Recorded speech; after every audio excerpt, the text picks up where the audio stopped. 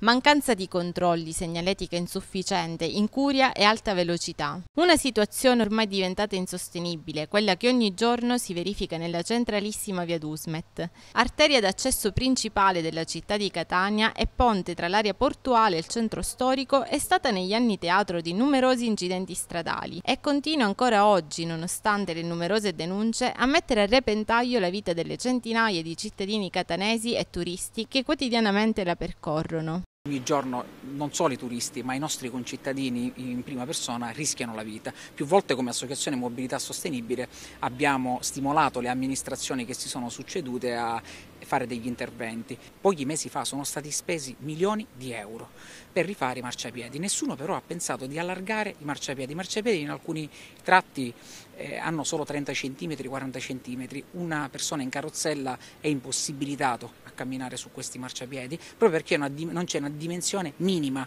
per poterla percorrere. Qui purtroppo, come potete vedere, diversi, in questo tratto di strada diversi abusivi occupano gli angoli dei marciapiedi e le strisce pedonali. Sono ostacolo proprio per i pedoni che sono costretti a passare in mezzo alla strada, rischiando ancora una volta di essere investiti. Questo è l'ingresso del porto, diventato punto di riferimento per eh, tanti giovani. Purtroppo l'attraversamento forse è più pericoloso perché passano molte più persone rispetto agli altri. Qui ci vorrebbe un, un semaforo a chiamata pedonale per dare la possibilità al pedone di salvaguardare la propria incolumità. Come potete vedere proprio ecco una macchina che decide di tagliare la doppia linea continua rischiando anche di impattare con le altre automobili.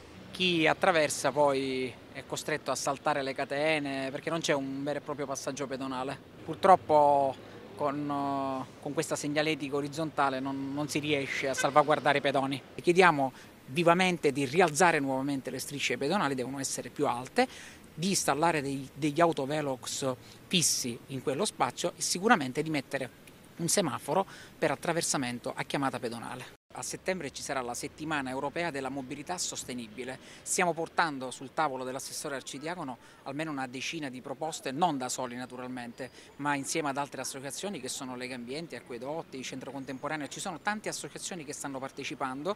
Vogliamo vedere l'amministrazione cosa ha intenzione di fare. Ci aspettiamo molto da questa amministrazione.